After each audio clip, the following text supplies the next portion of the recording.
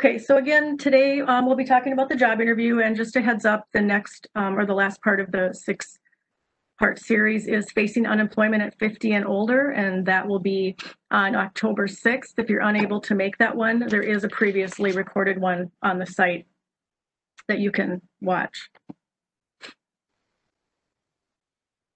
Okay, so today's webinar is going to probably be about roughly 50 to 60 minutes, depending on the questions that all of you might ask.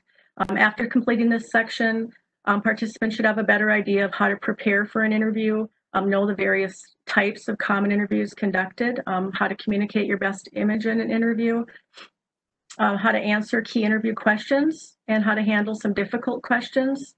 Um, we'll be talking about the STAR method that will be helpful to you and how to formulate your responses to behavioral interview type questions. And then, of course, we'll talk about the post interview steps like thank you letters and uh, interview follow up.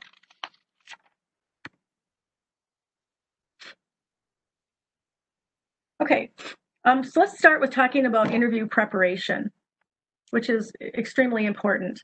So we'll look at the steps in preparing.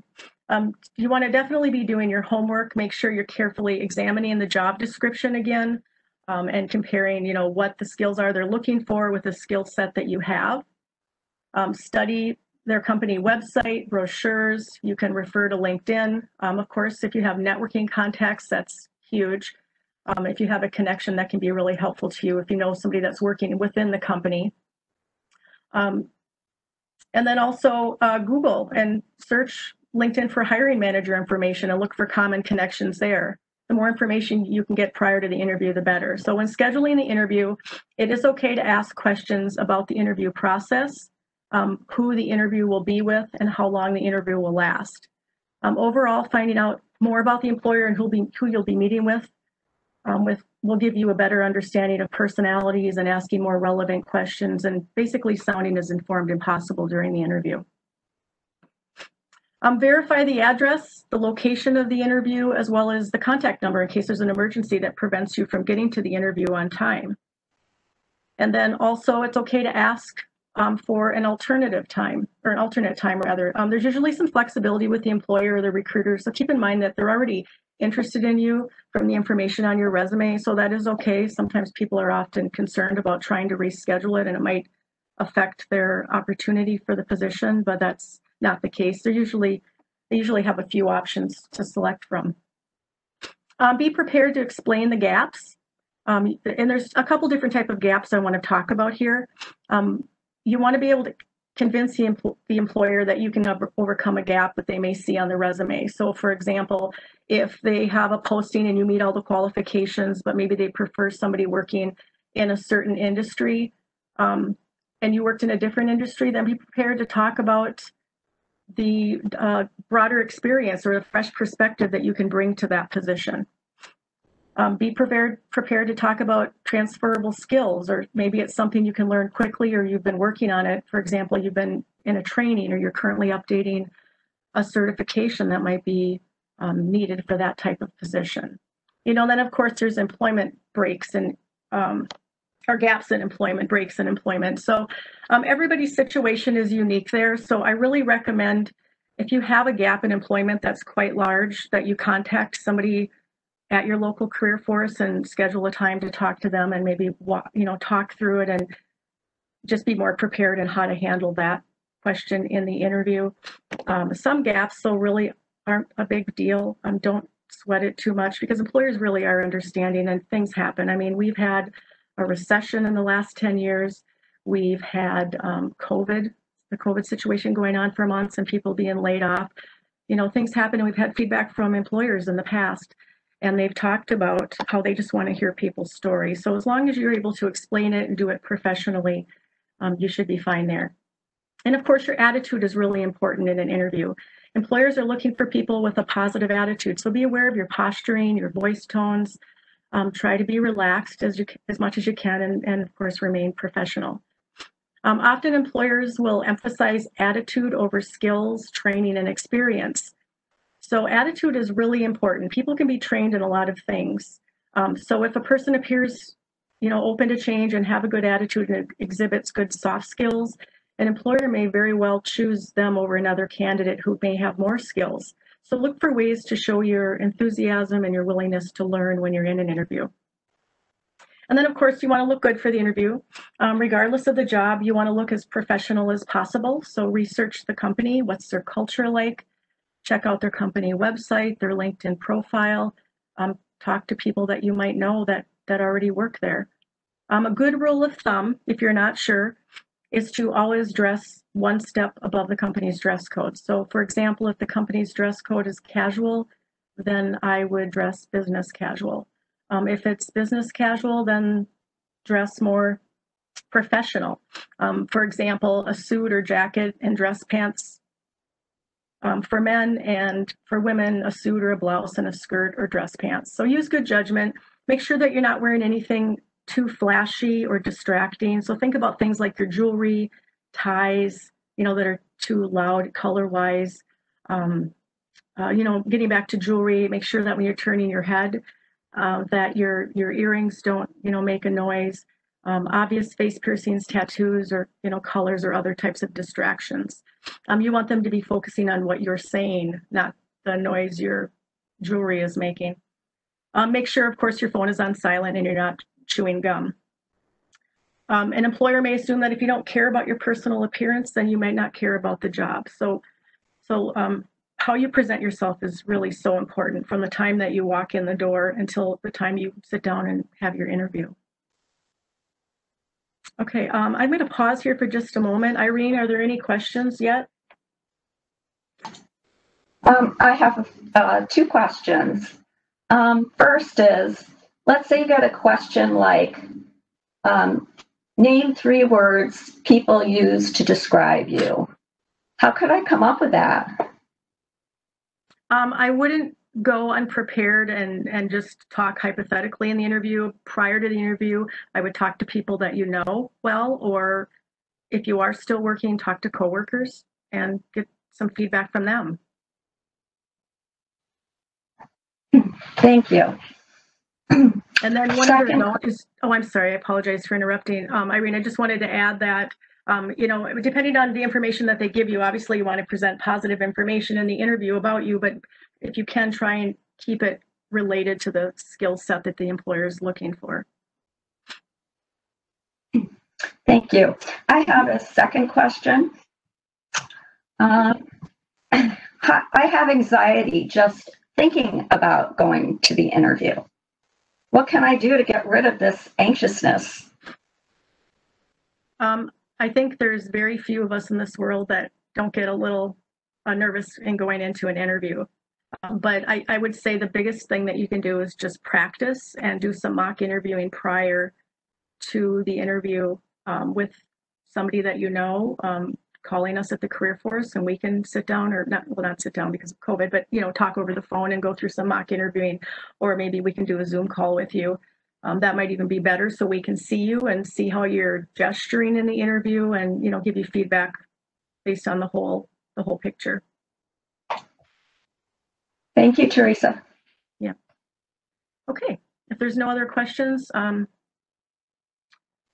we're going to move on. Whoops, sorry about that, you guys.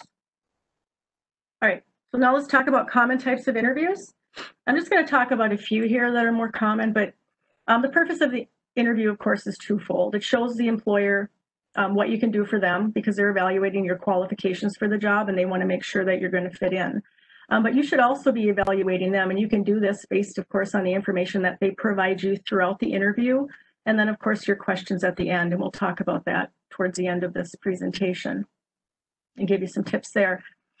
Um, but the first thing I want to mention is behavioral interviewing, and this could be in person or by video. Um, in any interview, the employer is evaluating your skills and abil- abilities to fit in with the organization. So you could have multiple interviews and you may meet with multiple people at a time. Uh, behavioral interview questions will require you to share a story by describing how you handled past work situations. Um, for example, it'll typically sound something like, um, tell me about a time when. Um, and this type of interviewing prov- provides more information and insight about a candidate's on the job behavior, their personality, their skills and abilities. So we'll be um, talking today about the technique or a technique um, that will help you with answering um, these types of questions. Um, the next one I want to talk about is a telephone screening interview, which is quite common. Um, usually this is done by an HR professional who will be verifying your qualifications. A screening interview is used to basically eliminate candidates they, they don't plan on moving forward into the to the next step in the process. Um, on average, they're about 15 to 30 minutes long. Um, you definitely want to be organized and prepare them, or excuse me, prepare for them to happen unexpectedly too. They're not always scheduled. Um, have a cheat sheet of what the employer um, wants, you know, in a candidate and the key qualifications that you have. Um, so one suggestion is, of course, go back and review the posting again. And what I have done in the past is created a little, you know, Excel kind of spreadsheet where I have the required skills on the left side and then on the right side, you know, what I have. So when I'm talking about it, you know, if you're nervous or you're caught off guard, you have it readily available and you're um, less apt to forget something that's really important. So let's say you're a human resources professional and they want to talk about, um, you know, working knowledge of federal and state employment laws. So I would probably talk about my experience with data privacy, FMLA, wages and benefits, um, things of that nature, maybe the hiring and termination process, um, or they want to talk about um, time management or organizational skills. Then you'll talk about your strong organiz- organizational skills, maybe related to managing multiple projects or how you prioritized your workload or deadlines met. So just have some of those things readily available. I do want to mention too, and this is important for the resume and the interview, um, if you have preferred qualifications, because a lot of times jobs will have that in the bottom of the posting, definitely make sure that you're not only highlighting it in the top third of your resume, because that may help you to stand out from the competition, but I would also have that noted so you can talk about it. And a lot of times with HR, they want the uh, additional certifications, maybe the PHR or SPHR, so then you can talk about that, or maybe CPR and, and first aid, which can be, I think, helpful in any any job really, but sometimes they do training in that. Um, if you're bilingual, um, I can't tell you how many people uh, don't put that on their resume or multilingual. So those are really important things to add because it gives you that extra um, thing over and above the competition and, and marketing yourself. Um, now, um, if you're driving and you get a, a, call for a phone screening, don't try and take it when you're driving. Either pull over or reschedule it when you're in a better place. Um, there's just too many distractions. There's a chance, you know, too large of a chance to have a dropped call. Um, so the purpose, of course, is to select the best candidates to move forward in the process and meet with the decision makers. Now, an in-person screening, um, you know, may happen. I think with social distancing, a phone screen is going to be more likely. But of course, in this instance, you're going to be meeting with somebody, so you want to dress professionally as you would for any other interview in the process. Um, the purpose of this interview is basically the same as the phone screen, like I mentioned. They're looking at why you're interested in um, how you meet the required skills for the position. Um, and then there's also a work sample interview. Um, a work sample is basically a sample of your work showing your knowledge or craft. Um, they're using this to measure the extent of your skills and competency for a role. Um, for example, somebody like an artist would bring a portfolio of their work. If you're in academia, you could bring examples of your research publications. Writer, editor might bring writing samples. That said, there are other jobs, a lot of other jobs where you could bring samples uh, in addition to references that might you might have um, or letters of recommendation rather. Um, maybe a teacher, for example, would bring a lesson plan or some lesson plan examples. So think about additional things you can do to show the type of work that you, you have done in the past. Now there's also the group and peer group interviews. Um, the candidate group interview, these interviews have two or more applicants applying for the same position and competing against each other um, as they're all interviewed at the same time. So these types of interviews test things like your professionalism, leadership skills, and basically how you interact within the group. Um, a peer group interview is uh, an opportunity for some of your potential coworkers to meet with you. And the goal of that, of course, is to evaluate you and again, determine if you're going to fit in. And then, of course, there's the video or virtual interviewing. So there's two types. There's uh, some of you may have experienced the computer generated questions, the timed responses, and of course those um, conducted by hiring managers via some interview platform like Zoom or Microsoft Teams. So make sure that you're comfortable with the technology, definitely practice. Um, if it's a video interview, make sure that your background is professional um, or at least neutral and that you can be heard well. If you can, test the audio and video in advance. advance. Um, be careful not to have you know children or animals nearby that can cause distractions and then dress like you would for an in-person interview and make sure that you do have the phone number of the interviewer handy in case something does go wrong and we we all know that that that can happen. And some people use virtual backgrounds so of course use something that looks professional if you have that opportunity. But if you'd like to get more information some more valuable information on just video interviewing um, we have a pre previously recorded webinar on the careerforcemn.com website that you can um, check out that has a lot of great information from um, one of our speakers catherine byers breed okay All right, now let's move on and talk about the image you want to communicate. Um, so, of course, you want to be organized. You want to get everything organized early and have extra copies of your resume. Um, when you were scheduling the interview, you, you could have asked, you know, how many people will be interviewing me. But even if they said, you know, let's say it's a six panel interview, I would still bring additional copies just in case somebody else decides to sit in. Um, your list of questions, because you'll want to be asking questions at the end of the interview, and then of course a portfolio if you need to show some examples of your work. Um, plan to arrive about 10 to 15 minutes before the interview, and you want to be really respectful of the interviewer's time. They may have appointments before you or other interviews or calls to make. I wouldn't show up too much earlier than the 15 minutes. If you if you are there a half an hour, 45 minutes early, I would just wait in the car until you get closer to that scheduled time. And you want to send good signals. More than 80% of communication is nonverbal. So be aware of your facial expressions, your body language. Um, remember anyone you run into on the way into your interview, maybe asking, maybe asked for feedback about you or what they thought of you later. So be aware of that. Um, you know, greet the interviewer. As far as greeting them, um, a year ago, you know, we would recommend a firm handshake. But now with social distancing, obviously things are changed. Um, these are questions, you know, in addition to the mask, which I think we're all wearing anyway, but these are questions you can ask in advance. You know, are you handshaking or, you know, are you practicing social distancing? But if you didn't and you show up at the interview, I would recommend just um, not reaching out to hand, shake their hand unless they offer. And if you're not comfortable with it, then just politely tell them I'm, I'm, uh, you know, I, I'm practicing social distancing. You know, I'm sorry, but I'm practicing or however you want to word it, but just make it professional sounding and not offensive. Um, and then as far as the mask goes, um, I would wear it in and plan to wear it unless they allow you the opportunity to take it off. So let them kind of lead there. And then focus on the questions and answer them carefully. Sometimes you'll get a long two-part question um, and it's when you're nervous, it's hard to remember what was that second half after you've answered the first half. So it's perfectly okay to ask them if they could please repeat the question after you answer the first part. And then, of course, um, for lack of better words, um, avoid being creepy or weird. Um, you know, different making odd facial expressions and things because they may read into what it is that you're doing.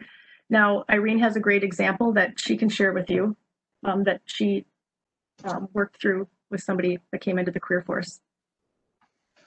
Yes, we had a gentleman who had been interviewing for positions in engineering. He got lots of jobs off, but the thing is, he went to a lot of job job interviews, but with all those interviews, he still wasn't getting any offers. So we're trying to figure out what was going on. Why wasn't he getting any offers, but he's getting tons of interviews? So he went to Career Force and our staff worked with him and he did a practice interview.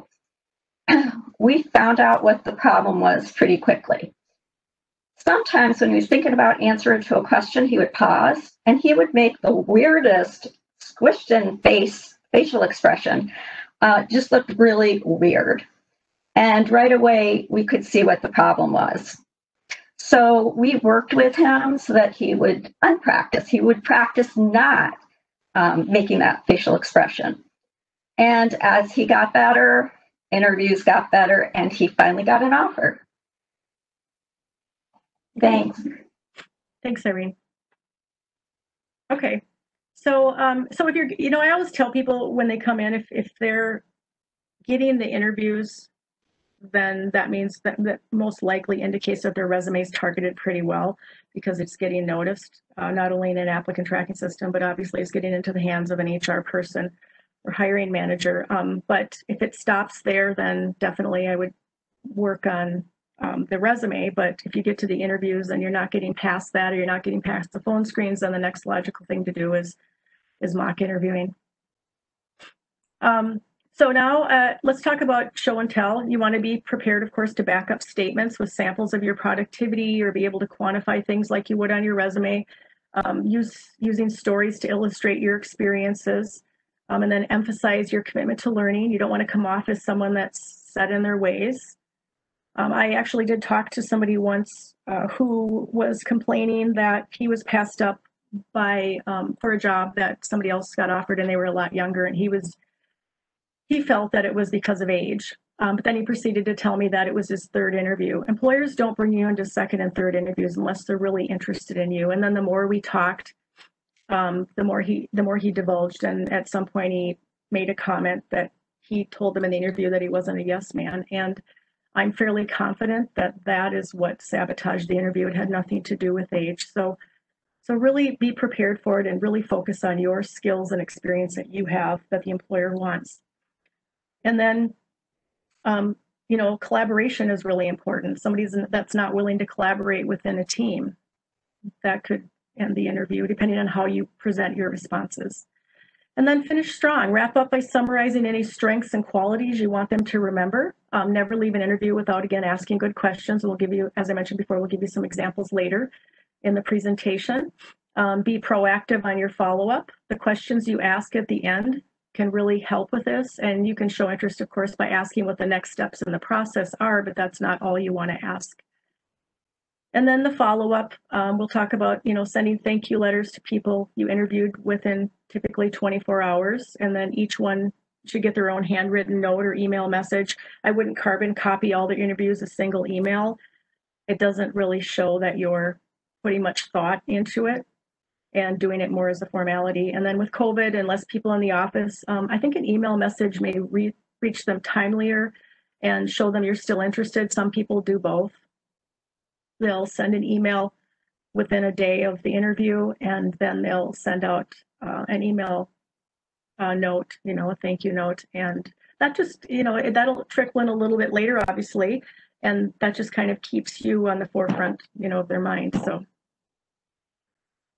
um, okay, so let's pause for a minute. If we have any questions, we'll answer them. If not, we'll move on. Yes, I do have um, questions.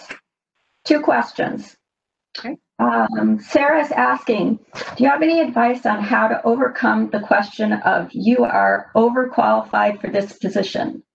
Um, I am struggling to get past the interview and I'm hearing the overqualified reason a whole lot.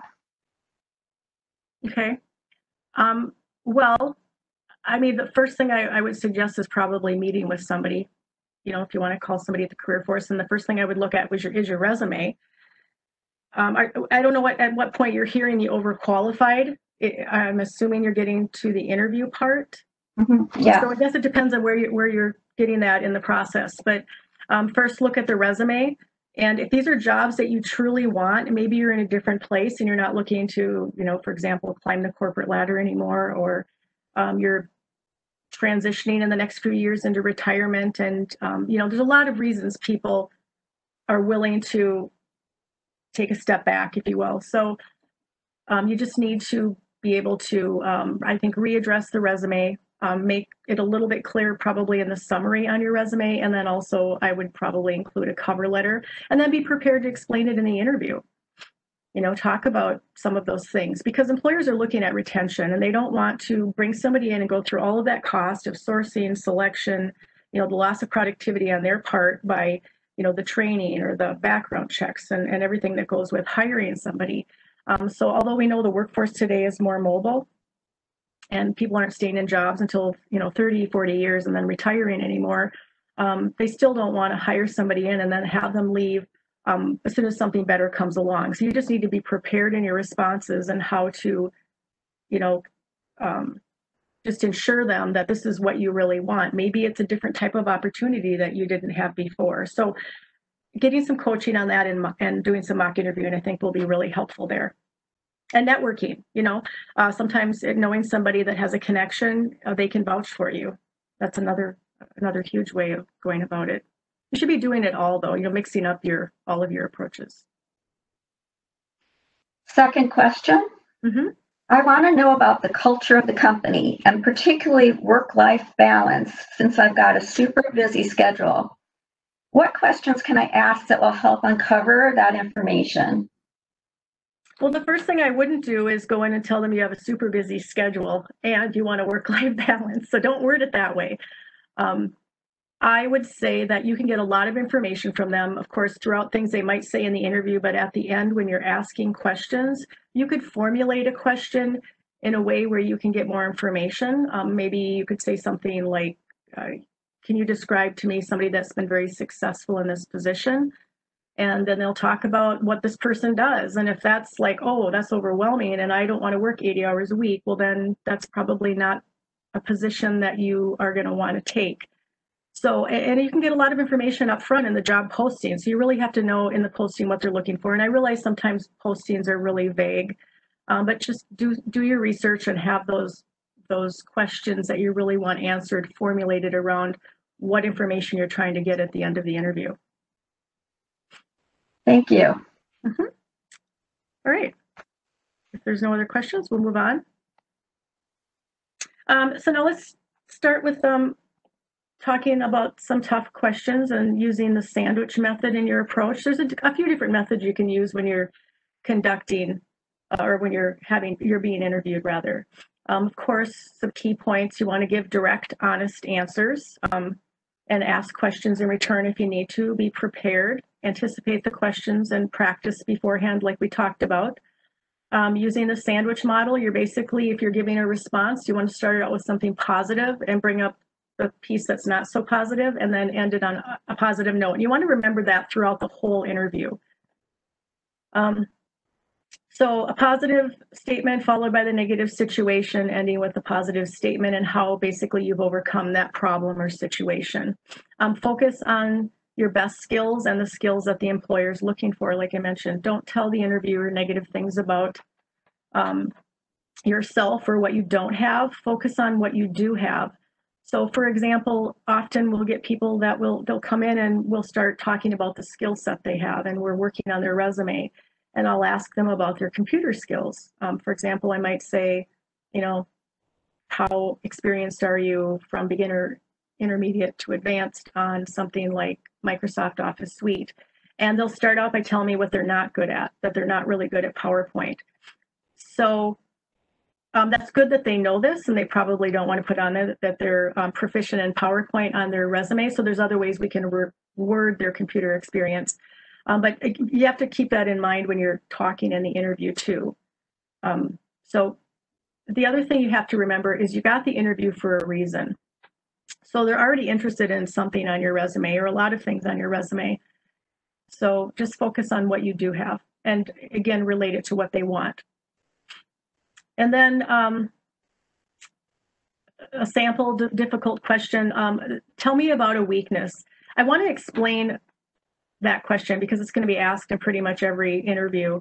Um, remember, everyone has a weakness, so be prepared with a couple examples because you could be in the interview and they might say, you know, um, somebody just gave us that example. Can you give us another one? So I would go in with at least a couple examples and talk about an area that you're improving on. Of course, make sure that it's not a core skill that's required for that job. And then, um, you know, just describe how you're working on it. So uh, a couple examples, maybe if you're a really great communicator and you tend to be a little bit more of an extroverted type person, uh, you could talk about meetings you've been in and uh, maybe at times you felt like you might have monopolized the conversation a little bit. So you've learned to take a step back and make sure that everybody's voice is being heard. Um, delegating is an important thing for a manager. You could talk about how you learn to delegate more, freeing yourself up to work on other important projects. Um, so example weaknesses, you know, again, make sure it's not a core skill for the job, but it could be an experience with specific software or another essential skill. Um, but you could talk about the cross training you've taken, where you're working on the skills, or if you're nervous about public speaking, if if that's not something that's you know a main skill needed, uh, you could talk about how you joined Toastmasters to improve improve on your speaking skills. Um, so those are just some examples. Um, now, um, I've always been on the design side of things and haven't had as much, well, this is an example, I'm sorry. Um, I've always been on the, the design side of things and haven't had much experience with content development. To better improve my skills in that area, I've taken some content marketing courses, which has helped me to improve my skills by better understanding content market strategy. So just, like I said, sandwich your responses to them and practice. Okay, so another method I want to talk about today is the STAR method. Um, this is an acronym, and the S is for situation, providing an example of a situation that you were involved in that had a positive outcome. It could be an event, a project, a challenge that you faced, um, and then you'll describe the task that was involved um, in that situation. Then choose tasks again that show your skills um, it could be about responsibilities you had, assignments that you were given, and then, of course, what was the action? Uh, describe what action you took to resolve that situation, and then give them the result. And make sure that all these star stories, again, are end on a positive note. Um, so tell them what the positive results were that came from your actions. This method um, provides a framework in your mind to help you remember a story as it relates to the interviewer's questions. So the more you can practice these, I think the more comfortable you'll feel in the you'll feel in the interview. And if you want example questions, we have a plethora of questions here that we can email you or we can, like I said, talk to you over the phone, do a little bit of mock interviewing. So there's lots of options there. And then um, I apologize, but getting back to Career Force, those pre-recorded videos, there's there's a few there on on um, interviewing, and then YouTube there there's a, really a lot of great information on YouTube also uh, from career coaches. Some of it's not so great with others, but that they offer free information, some of which you can also find on LinkedIn. So let's take the example question, describe a time you worked with a difficult person. So all of us have worked with people that have different management styles, different learning styles, different backgrounds, different beliefs and disagreements and conflict are going to happen they just are in every in every workplace um, and employers know this of course but they don't always want to be having to put out fires. So the what the employer really wants to know here is how you work with people. How do you handle conflicts in the workplace? You know how do you treat others? And the steps you take to resolve conflicts. So when you're answering this question you know use the star method and um, try you know remain professional and don't get emotional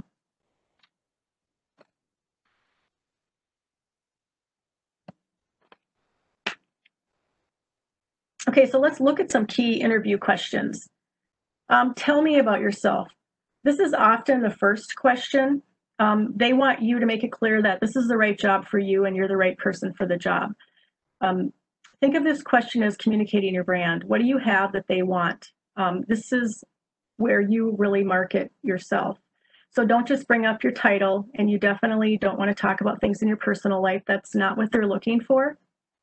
Um, you want to talk about what you've done as it relates to the job you're interviewing for. And one way to remember it is talk about the present, past, and future and frame it around the skills the employer is looking for. So currently, I'm working with XYZ company, or recently I just um, ended my job with XYZ company, and I was responsible for you know this, this, and this, and then talk about the past again, relating it to the skills that they want, and then um, the future. What what it is that you're um, looking, you know, where you're looking to go as far as learning and growing and with your job opportunities or job opportunities with this company or growth opportunities for that matter. Um, and then why are you interested in working for this company? The, you know, sometimes they'll word things different ways, but as long as you've practiced and you have a response for one, you should be able to answer it in a different, if they answer, ask it a different way. For example, they could say, why are you looking to leave your current job? Focus here on opportunities to learn and grow your skills. Talk about what you're passionate about. Um, is this job directed more towards um, where you're trying to go in your career? But you definitely want to make sure when you're responding to this that you don't you know, bash your previous or current employer. You never want to say anything negative. So instead of focusing on negatives, even if it was a toxic work environment, really just in this type of question, focus on the um, what you learned from that opportunity, basically, and the relationships that you did create, the positive relationships. Um, what is your major weakness? We talked about that one previously. Um, again, just be prepared to just have a couple options there. Um, tell me about a time you worked with a difficult person. What employers want to know here is how you handle a conflict and interact with other people. Um, you know, focus on the skills relevant to the job and use an example again with a positive outcome. Um, where do you see yourself in three years? They might say three years, five years, whatever they put out there. Um, you want to avoid saying, I want your job. It sounds corny. That's not what they want to hear. Um, the interview wants the interviewer wants to understand your career goals. They're looking for motivation. And getting back to my comment earlier about retention, they want to make sure that they're going to invest, if they're going to invest in you, that you're going to stick around a while. So think about the skills that you want to grow and where you want to develop um, in this line of work that you're in. And then what kind, what kind of projects do you like to look for? You know so again keep it all relevant to the job that you're interviewing for. And then also i just want to make a note here if you're an older job seeker and you're looking to retire in the next year or two and you get a question like that um, there are other things that we talk with them about considering um, for example maybe taking a shorter term type position working with a staffing agency or a recruiting recruiting firm network with people. You can get some really great ideas from other people to help you in your job search and, um, you know, obviously help you with potentially making a connection with an employer.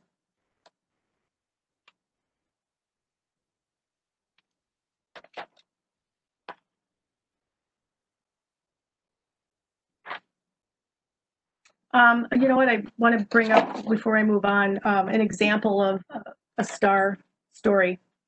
And then I, I think Irene has a really great example too. Um, but I'll I'll read mine first. So here's a question that might be asked um, surrounding working or contributing to a team environment. So they might say, tell me about a time you contributed towards a team environment. So I would respond with a situation. I could say, when I worked for ABC Company, communication within our work group was breaking down and important information wasn't being relayed between our shift and the next shift during the changeover, which was resulting in late shipments or whatever the problem was. Um, the task as managers, we need to improve the situation, or we needed to improve the situa- situation because we knew it was really affecting productivity and it was affecting service time. The action that we took, um, what I would say then is to resolve the problem, we organized employee meetings where we would bring in pizza between shifts and allow everyone to discuss relevant issues and other important topics and suggestions that employees wanted to bring up. And then the result from this, this situation, um, the lines of communication improved and having these meetings also greatly increased morale of staff and better productivity in the warehouse because of this opportunity to have their voices heard. Um, and they felt more valued. Um, another thing that came out of these meetings was it also made management more aware of additional uh, staffing uh, or staff training needs or opportunities. So I talked about the situation. I mentioned the task. What was our action to resolve the issue? And then I ended on a positive note. Okay, um, another question they could ask Tell me about a difficult situation you encountered at work and how did you overcome it?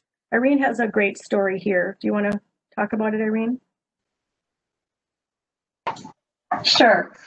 Okay, so we had a situation where a staff member who was in charge of a brand launching a brand new five week seminar just unexpectedly left. So we had a situation. We'd already advertised the seminar, so it had to go on. So that was our situation, our S.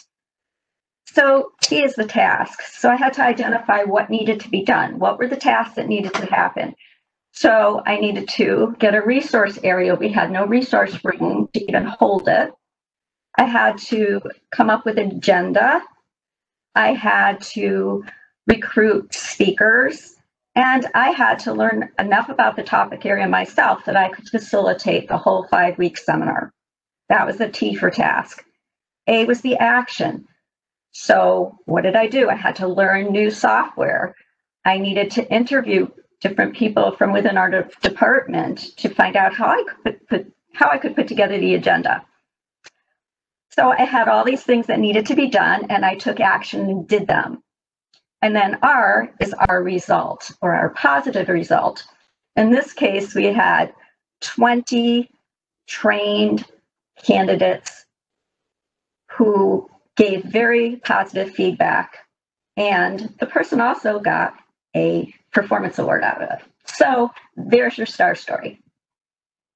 I think that's a great example, Eileen. Thanks. Okay, so so they're they're obviously going to ask you a lot of questions throughout, um, but now you have an opportunity to ask questions as well at the end. Um, it's always important to ask the interview questions. Um, not only will it make you sound more insightful and help you to stand out, it gives you more information about the position and their expectations. So it's another opportunity for you to, to decide if this is really a good fit for you. Um, there are also employers out there that um, I've heard this from recruiters that they won't consider somebody if they don't have any questions. And keep in mind too, if there's two equally qualified people in that interview and they like them both, and at the end, one of them just asks what the next step is and the other one has five or six questions to ask, obviously that one person um, is going to sound a lot more enthusiastic and a lot more interested in the position. And they may very well be the person they choose just based on those questions. Um, you know, some examples, I mentioned this one previously. Could you describe to me what an ideal candidate looks like? Can you tell me how my resume compares to your ideal candidate? Um, also, is there something missing on my resume that you would like to see? Now, a lot of these mean somewhat the same thing. I'm just giving you three examples here that are similar. Um, but these three, these last three questions I just mentioned are a great way to get more information if you're not selected. Um, you won't ask all of them, of course, because they're similar. So choose what's comfortable for you. But I would go in with at least um, be ready to ask, like, be ready to ask up to five questions. I wouldn't probably ask much over five, but be prepared with 10, eight to 10 questions. And the reason is, is um, some of these questions could come up in the interview as you're going through it. And, you know, you want to be respectful of their time, so you don't want to have more than five, but you don't want to repeat questions that have already been answered.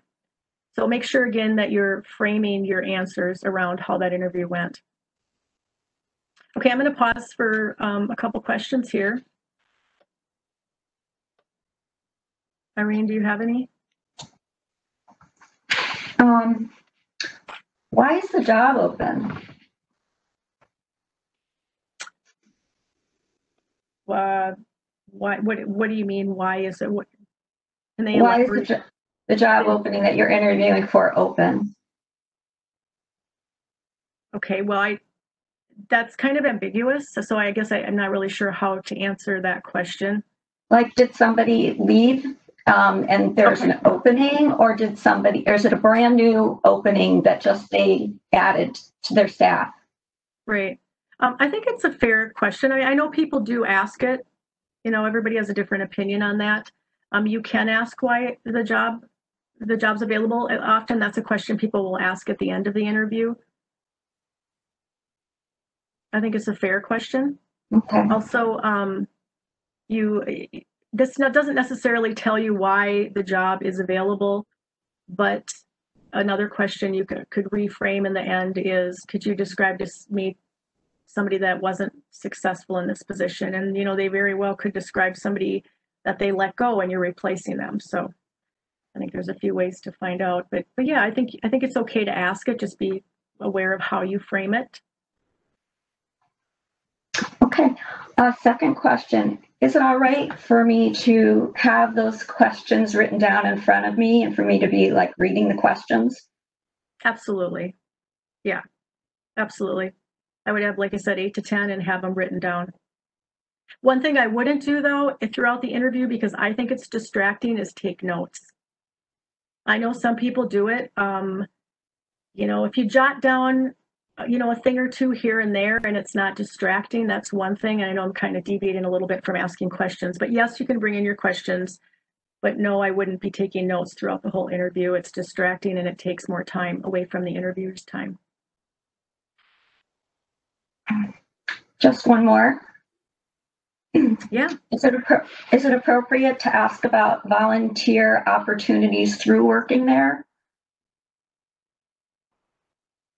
Volunteer opportunities through working there. Any kind of volunteer opportunities that through the company, like Habitat for Humanity, do they have any kind of availability in getting involved once they work at the company? Oh, okay. Oh, absolutely. I think that that that's a great thing to do. A lot of companies are really, you know, big on being involved in the community, and I think that you want to be a part of that reflects positively on you. Thank you.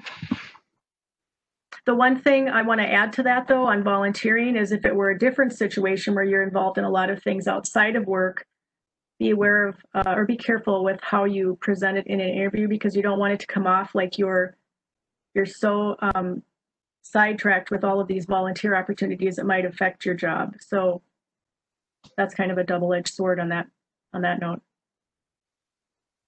Okay. Um, now let's talk about post-interview steps. Um, so of course, you want to have references available. You may not need to use them. With social media out there, I think that more and more employers are finding that they can probably get more information and, and more valid information, for lack of better words, um, going to your social media accounts. So of course, make sure that if you're using a LinkedIn account, everything's updated and it, it pretty much pretty much matches the information you're giving them on the resume. And also um, make sure that everything on your Facebook account, for example, is is um, if it's out there in public that it's professional or it's you know there's nothing on there that might um, reflect on you negatively. Um, but, but yes, do have references, identify them in the beginning of the process, of course, get their permission, and then I would follow up with them after the interview, prepare them for the phone call that they might get, recap how the interview went, um, highlight your skills or experience that you want them to mention. Sometimes I'll even ask people if I'm giving a reference for a friend, you know, for a copy of their resume. So I have all of that information available to help me. Um, and then, of course, send a thank you. I think that's always important. And it, it reflects on you positively when you're done, and it just shows that you're really interested in the position. Um, it's another effective strategy to sell yourself again and summarize how you match the position. So write a note or a typed note. If your handwriting isn't so great, you might want to type it and sign it, or you can, as I mentioned in the beginning, send an email. Um, with the social distancing and people not in the office as much, I'm leaning more towards email initially. Um, sometimes employers take more time finishing interviewing. Um, you can send a thank you note, you know, a little bit later um, to help you stand out and remind them about you as a contact. And then, um, you know, maybe bring something up from the interview about a connection that you made or something else that you might have um, left out and forgot to mention that might make you a stronger candidate. Um, send it within 24 hours. Um, one thing I don't recommend personally, and this is my opinion, is walking out to your car and bringing the thank you note back into them and leaving it with the office staff or whoever. Um, I think that it just implies that you're doing it as a formality and it's less time to put thought into individual thank yous. So I don't really advocate it. Uh, make sure that your note, of course, is clear and concise, concise reinstate your interest or restate your interest. Um, plan your follow up situations may change. So just because you haven't heard anything in a while, um, you know, things happen. Sometimes employers will start the interview process, and this has happened a lot with COVID, uh, based on my experience, where a hiring freeze will happen, and then there's just kind of nothing. So you can follow up a little bit later if they gave you some indication as to when they were planning on making a decision. Um, wait until after that point, and then send it, you know, just check in, send an email, let them know you're still interested. And then maybe they'll come back and say, you know, we're just on hold right now because of, you know, X, Y, and Z. Um, another thing you would probably want to do is even if you're rejected, send a thank you note. Just because you're rejected doesn't mean you were not one of their top candidates. Um, again, you got the interview for a reason. Um, this shows you're professional and they may consider you for future opportunities. If um, still you're still interested in the company, convey your desire desire to have continued communication with them. Um, this just keeps your name, you know, on their mind for a next, you know, another opening down the road and a, another potential opportunity for you. So now again, I want to remind you if you're getting interviews when your resume, then your resume is working for you. Obviously, if you're not getting interviews, then um, you probably need to go back and have somebody help you with retargeting your resume to really highlight your skills and experience. Um, the first thing you're competing with when you're you're sending your resume out there is an applicant tracking system. So if it's not targeted well, you're not going to get to that next step, whether it's a screening interview or an in-person interview. So I really recommend contacting somebody at the Career Force and getting some help um, with that so you can get to that point. Okay, so that um, concludes the presentation, and I just want to check in and see if there's any final questions from anybody.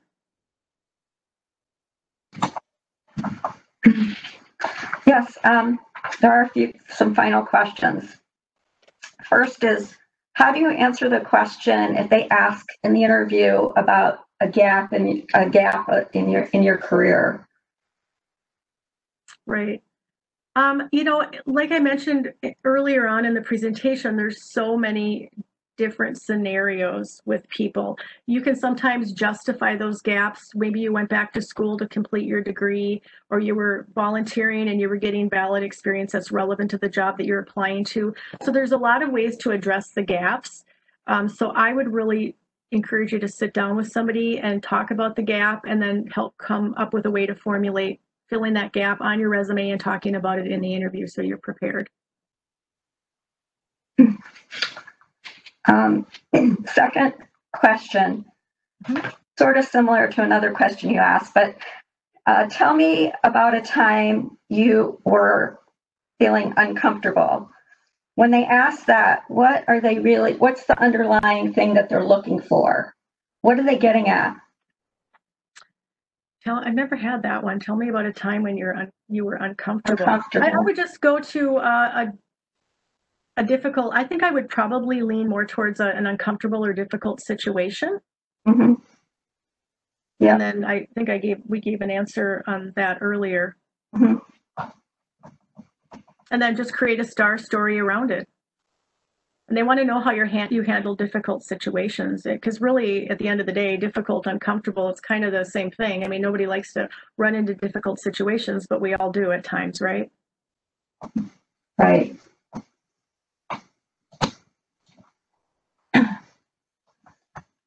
okay another um, question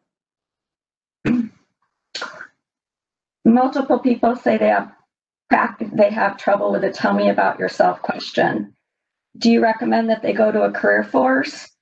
Yes, I do.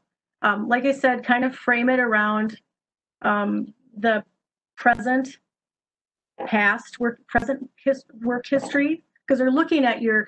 This is basically think of it as you marketing yourself. It's kind of what your your elevator speech or what you might have put in your summary if you if you did a, summary correctly.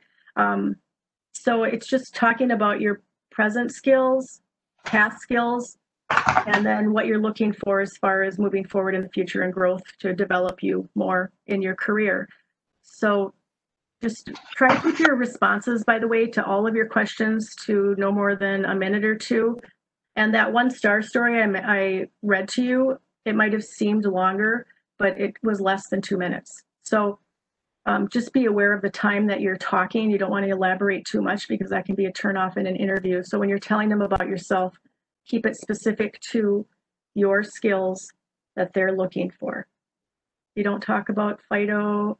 You don't talk about, you know, what you do outside of work. That's not what they want. It's all it's all really related to your skill set. And yes, I would call somebody at the Career Force and they can help you to formulate that too. I mean, we can help with all of those those questions. Just give us a call. That's great. um, we're going to have to wrap it up now. What what I want to tell everybody is that I know that we didn't go through, uh, we were able to answer all of the questions. Um, however, there are career force locations. Um, I highly recommend that you connect with them and they can help you with these questions. Teresa, other Yeah. comments? Um, just a reminder that you can watch all the pre-recorded versions of Career Force webinars on the careerforcemn.com website um, to include our the job clubs on Career Force. And if you want more resources, uh, you know, whether it's job resources, community resources, just um, give us a call. All right. Well, thank you everybody for attending today. Thank you.